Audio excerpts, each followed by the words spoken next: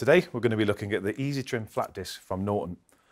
When you use a conventional flap disc, once you've worn away the flaps down to the backing plate, that means you've reached end of life or the disc is dead.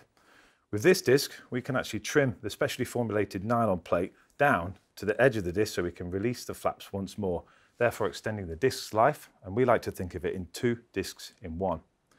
We also incorporated a new colour code grading system. So here we have the, the yellow disc, which is grit 40 or coarse, then we have a maroon coloured disc, which is grit 60 or medium.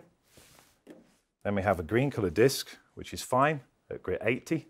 And then finally, we have a blue coloured disc, which is very fine or grit 120. Okay, so let's see these discs in action. Before we do that, we've got to get on our safety gear. So our gloves, our glasses, and our ear defenders. As with all flap discs, this disc can be used to grind weld seams, remove scale, bevel edges, and for general material removal.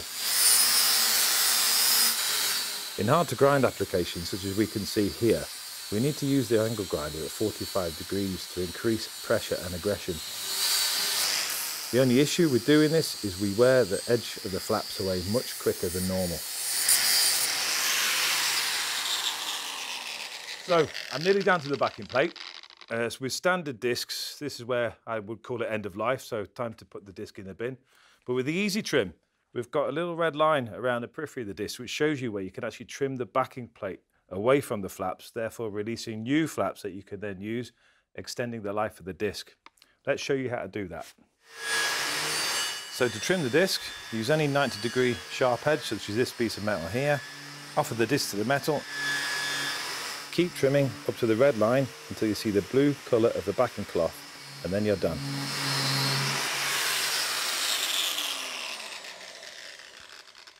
Okay, so the disc is now trimmed. I've got a fresh edge of flaps, so I can now begin working again.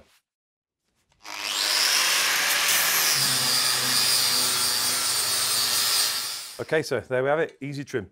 Started with a standard flap disc like this, did a lot of work on these components here, came to the end of the life, I trimmed back the backing plate, as you can see, and I was able to keep on working with the same disc. Easy Trim discs are available from your local Norton stockist. Visit our website for more details. If you like this video, then like, share and subscribe on our Norton Abrasives YouTube channel.